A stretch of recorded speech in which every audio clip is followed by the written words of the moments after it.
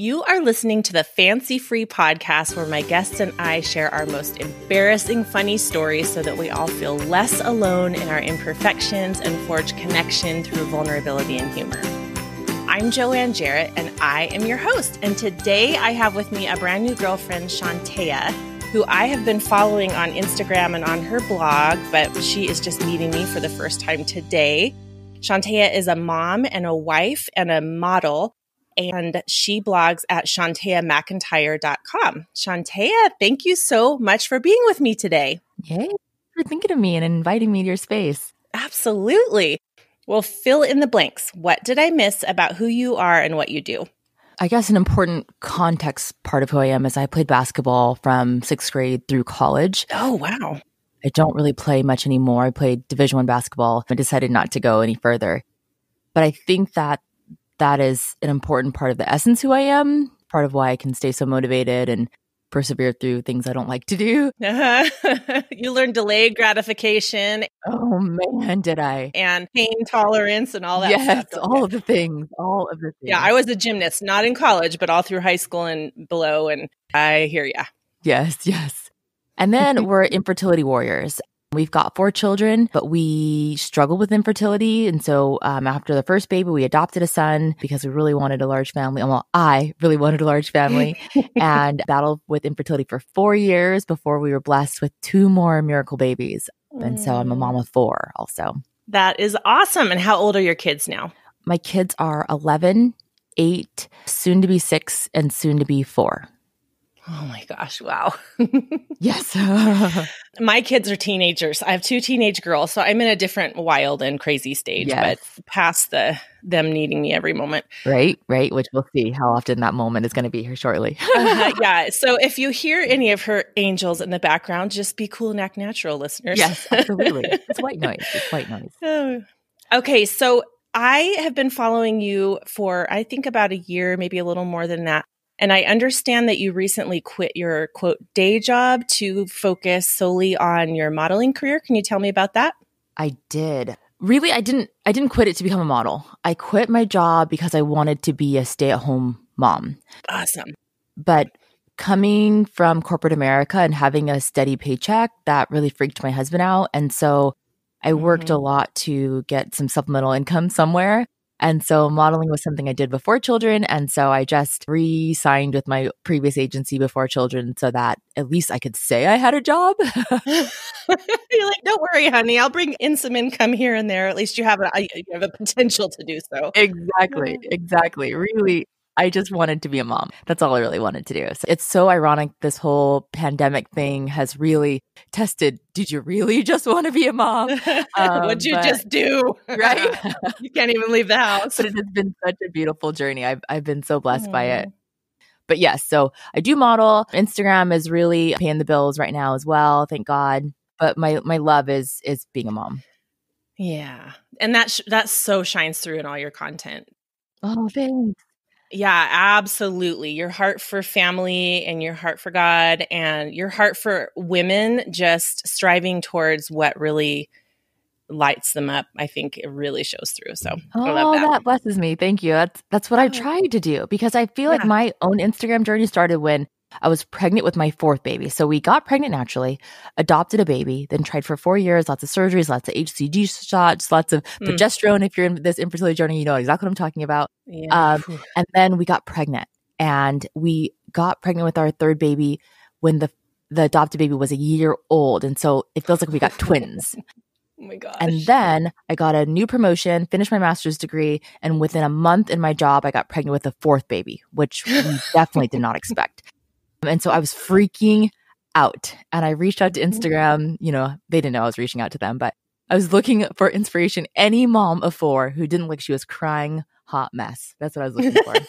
and so show me your good I, days. Please. Oh, I was like, I don't care if it's a highlight reel. Just show me your makeup and your hair combed because I can't do this, you know? And so yeah once I figured out I could do this, and I did get so much inspiration from moms who don't know who I am still to this day, I felt like I owed it to motherhood community to then push that back into the environment that you can totally do this. It's just us freaking out and a little bit of pregnancy hormones and all the things, but you can totally do it.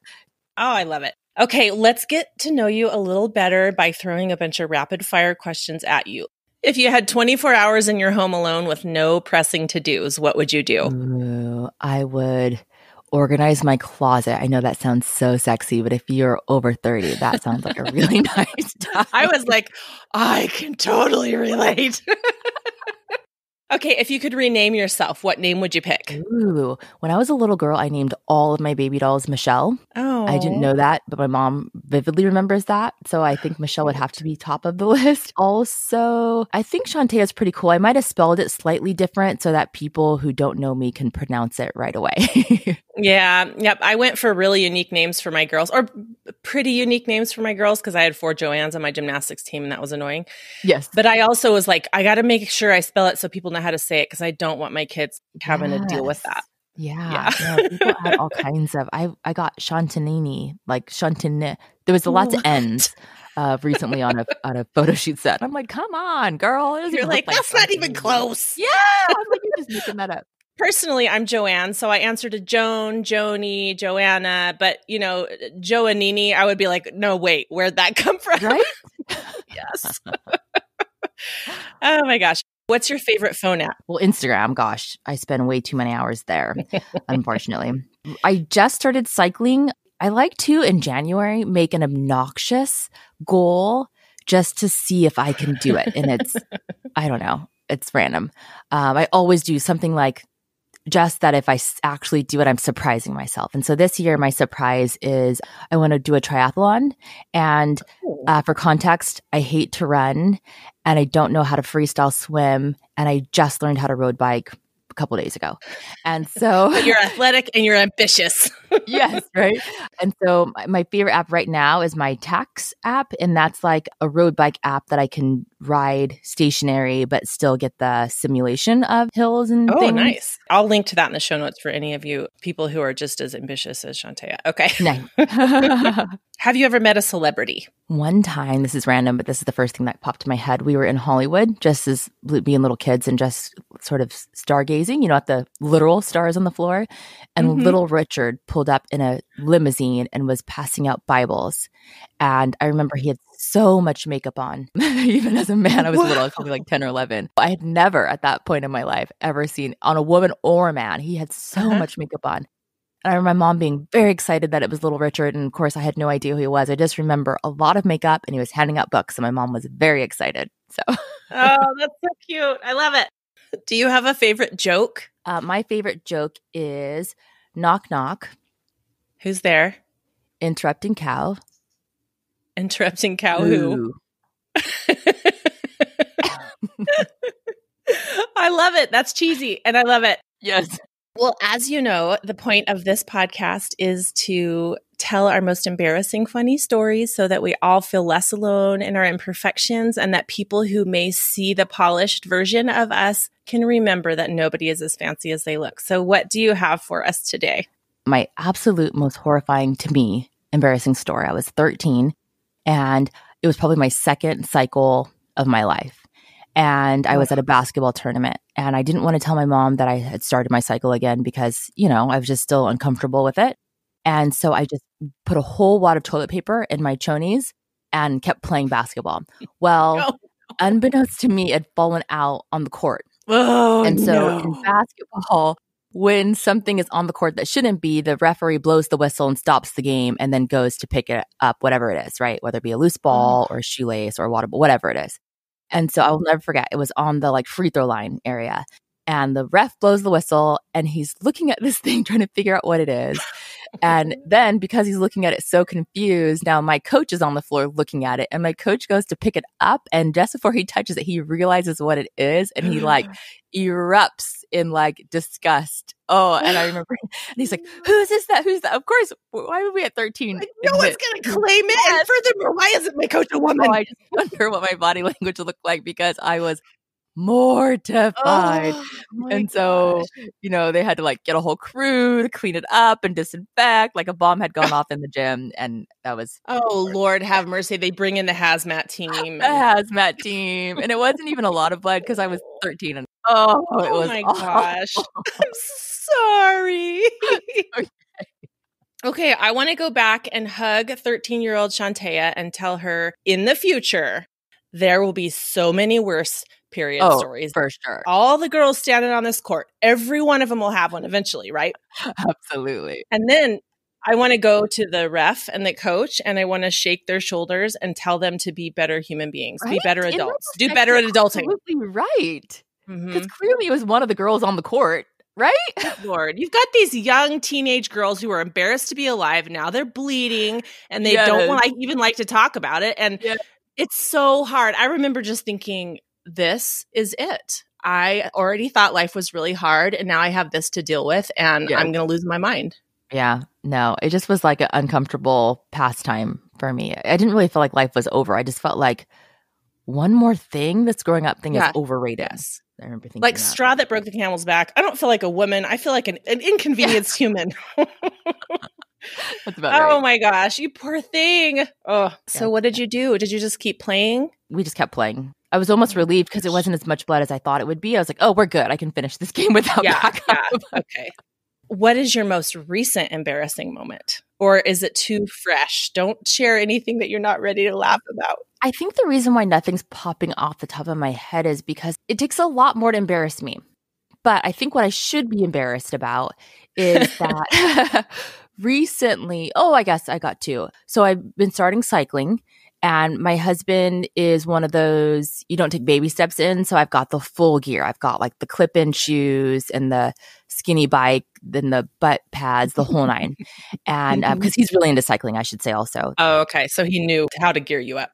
Yes. And part of the reason why I decided to do a triathlon is because I thought if I have to bike, which my husband loves this, and so I feel like I have to at, at some point entertain some sports that he likes, um, yes. then I should at least do something that I want to do. And so that's how the triathlon was born. Ah, okay. So we went on our very first ride and we crossed a busy intersection and I did not clip in successfully and fell very hard oh. on my oh. bottom.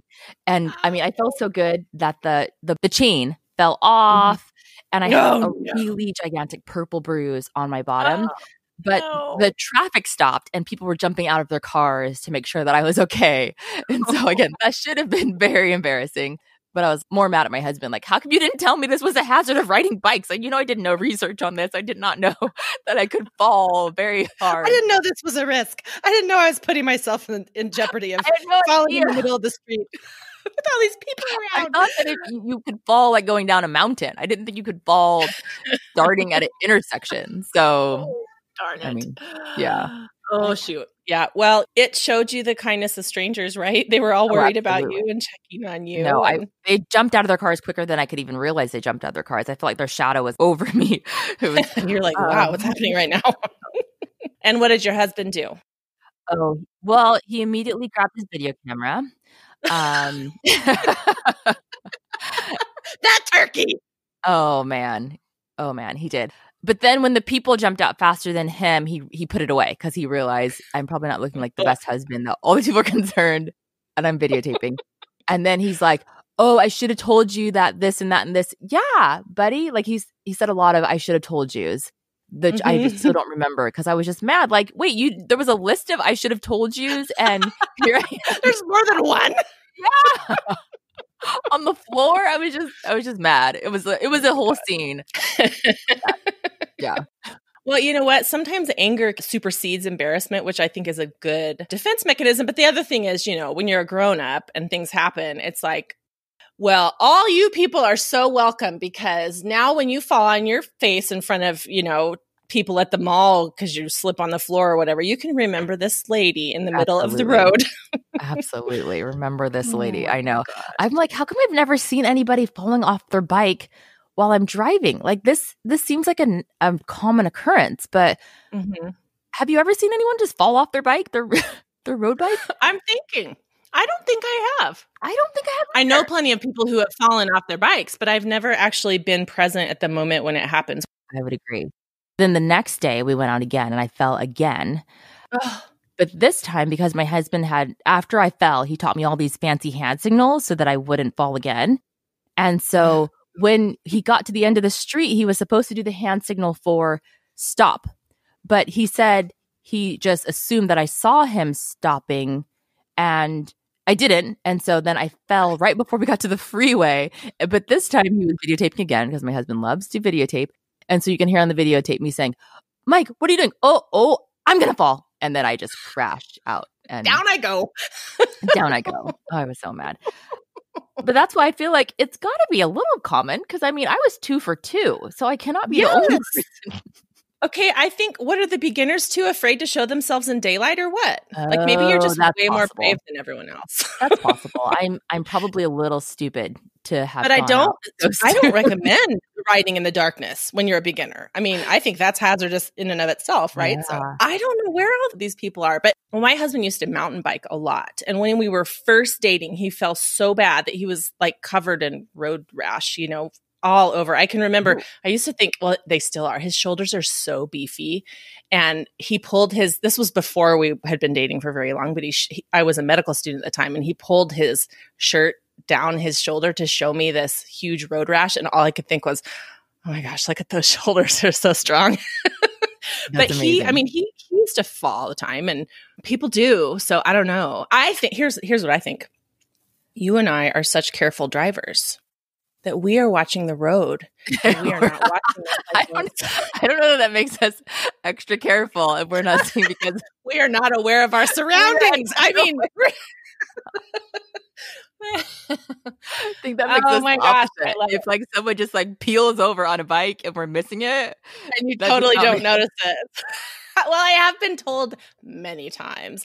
I waved at you the other day. You were driving. You obviously didn't see me. I'm like, I'm so sorry. I'm so clueless. That's amazing. Do you happen to have a life hack that you think the listeners would love? Mm. What's something you do that makes your life amazingly easy that you were so excited when you discovered? Something that I just started doing is I call it power hour for my kids. It didn't start off for an hour, but I always called it power hour even before it was an hour long. And they have to stay in their rooms and play or dance or color or whatever it is they want to do, but they know that they cannot leave their room for an hour.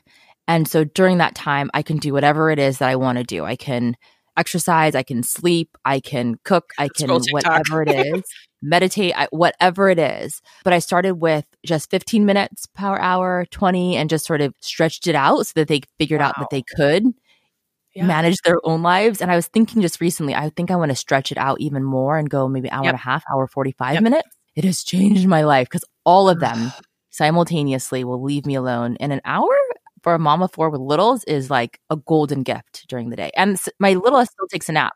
So that's not even her nap time. Oh, so she's learning that skill even though she's napping. So she's napping and doing power yes. hour. Oh my gosh. Brilliant. I love it. Have you ever experienced a crazy coincidence that you can think of and tell us about?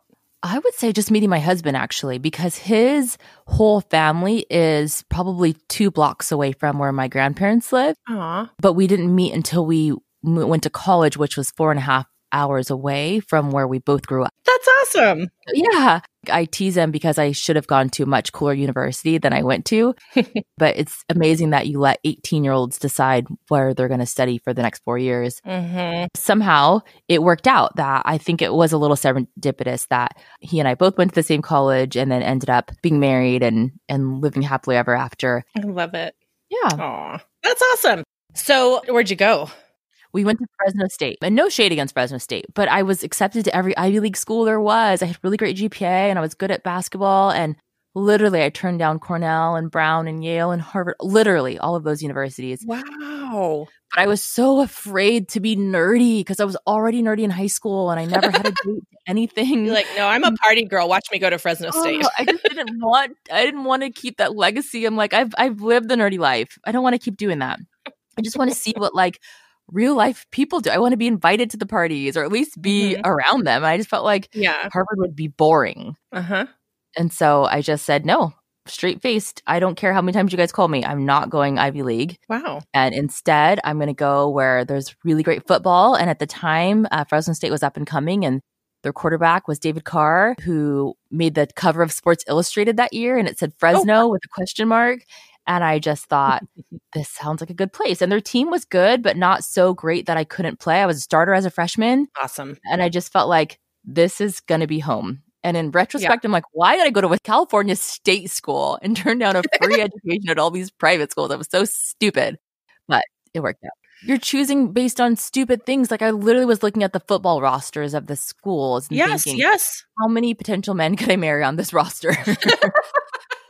I was, and, I was I had moved from South Carolina to Reno, Nevada, which was basically like moving from the Garden of Eden to moving to the surface of the earth. So I was like, yes. I'm, go- I'm going somewhere green. And that's all I care about. So I ended mm. up in Seattle and it was green, but it was also cloudy the whole time I was there. I had visited in uh-huh. August and it was gorgeous, but I'd never, oh, I was never there sure. in August again because I went home during the summers. So dumb. Yeah. I, I feel like 18 year olds should make that decision. It's such a big decision. No offense to any 18 year old who nails it, but I wasn't that girl.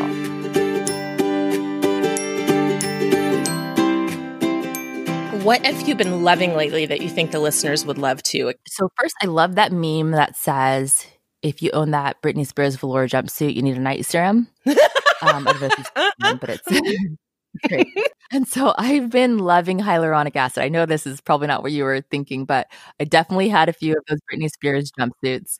I like to use a liquid vitamin C. I feel like that has done quite a difference for brightening. But for plumping, I think nothing does the job like hyaluronic acid. And you can get those in a serum or a mask, it doesn't matter. But I think if you are not using hyaluronic acid, I don't care if you're 20, you are missing out. Message me a link what you're currently using, and I'll link to it in the show notes. Okay, that sounds good. And that, that company will be like, what just happened? No. I know. we all want to look like Chantea.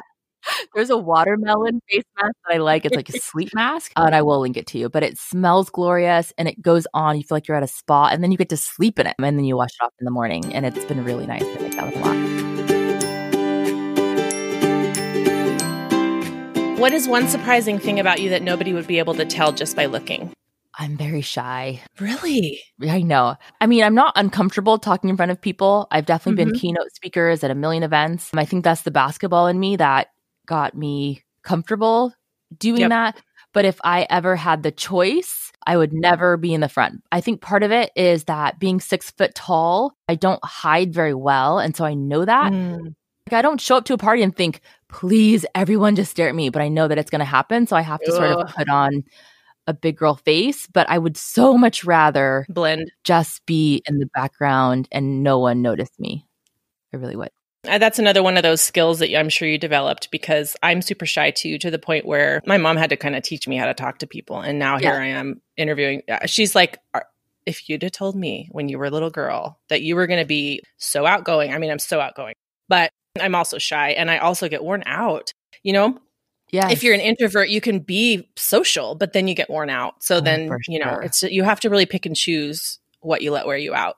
Yeah, the pandemic has been such a blessing for me. I know you know, extrovert won't ever, ever understand. But I'm like, yeah. what? There's a max capacity at any store I go to. What? Nobody will be close to me in line. I just this was amazing. I, it, it, really, I have to stay home, and no one's gonna judge that I've been in my house for the last two months. Like I am in, in my pajamas. I know a looming virus could kill us at any point, and that my husband's a first responder, and you know, oh my gosh, yeah.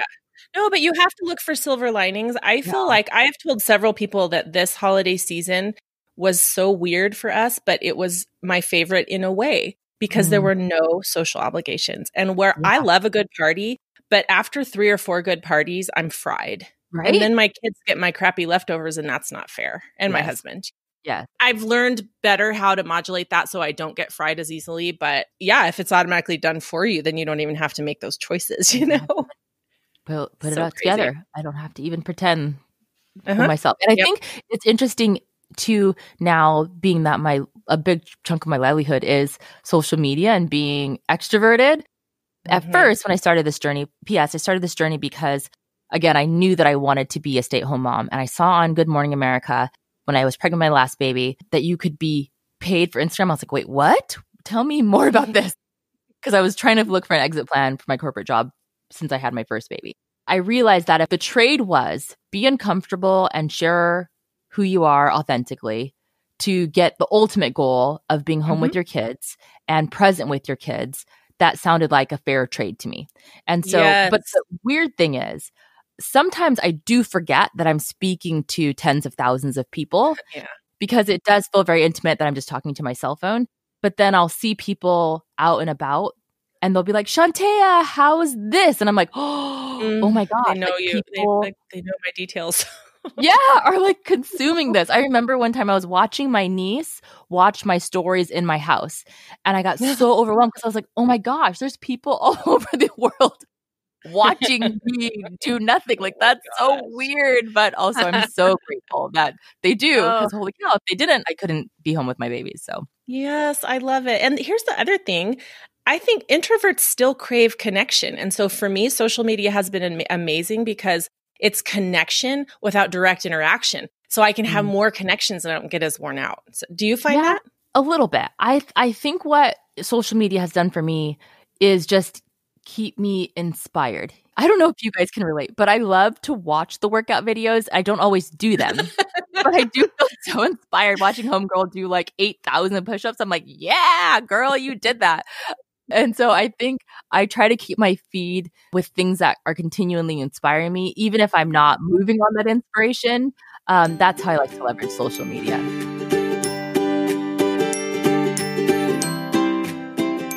What topic or upcoming event or mission or project are you excited about that you don't want to miss out on sharing with our listeners? I always do crazy things at the new year, but also my birthday is in December. And every year I try to gift myself something meaningful and something that, what do I think I'm worthy of taking a chance on that nobody else would really back me on? And so 15 mm. years ago, I started a modeling agency on my birthday. Um, and that wow. road, I rode that wave for probably 12 years. Well, no, I guess 15 years because I just closed it because I just I'm ready for the next adventure. And um, I'm starting a clothing line called Chanj, C H A N J. I spelled it phonetically, and it's just yoga and workout gear that I love. And I'm so excited about it. And I'm also really working hard to make it a mommy and me line, oh. which you're totally getting a sneak peek of that because I probably won't announce that it's a mommy and me line until about three months after my line goes live. But I'm just, I'm so excited because it's literally things that I love. I could not find an outfit that I wanted.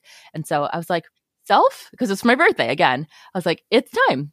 Let's make this. And so I have traveling yoga mats because I've been looking so hard for a cute one and I couldn't find one. Um, workout sets with really cute, unique designs. And I'm just really excited about it. So you designed these clothes and you're having them manufactured and selling I them online? Am. Yes, I am. I'm so excited about it. I am going to be watching Chanj. I'm so excited for you and that is amazing. Okay, Chantea, tell my listeners all the places where they can find you. Oh man, Instagram, everything is Chantea McIntyre because I'm really creative. And and so my blog is chanteamcintyre.com. My Instagram is Chantea McIntyre. My Facebook. Um, you know what is not Chantea McIntyre is my YouTube because that is a joint adventure with my husband and my family, and that is life with the McIntyres. It was Chantea McIntyre, but my husband did not like that. And so we changed that a little late in the game to life with the McIntyres. I love it. Okay, well, I am going to spell Chantea McIntyre for you guys just in case you're somebody who doesn't like to look at the show notes. It's C H A N T E A M C I N T Y R E. And I will link to all the places where you can find Chantea in the show notes. So, hey. oh my gosh, Chantea, thank you so much for being with me today. This was a lot of fun. No problem. So fun. Okay, that was fun. Wasn't Chantea adorable? I loved her humility and her sense of humor. Make sure that you check out the show notes at fancyfreepodcast.com slash episode 99 so that you can get all the links we discussed today. And make sure that you check out Chantea's new line, Chanj. Next week on the show, we have Lise Helsloot, who is a new friend of mine that I met on Facebook in a walking group that she hosts, and she is so much fun, you guys. She made me laugh right out loud with her life hack of all things. It's so great. You can't miss it. Come back Monday. Make sure to subscribe to the show wherever you listen so that new episodes pop into your feed whenever they're available. We go live every Monday morning at 6 a.m. Mountain Time, and then there's often a Wednesday or Thursday episode as well. If you want more connection, laughter, and sharing, join the Fancy Free Facebook group. The question of the week this week, of course, is Have you ever seen anyone fall on their bicycle when you were driving? I have one big ask this week sometime when you're chatting with a friend and you think maybe they'd like the Fancy Free podcast, tell them all about it so that we get the show into more ears. Have a great week and remember, no one is as fancy as they look.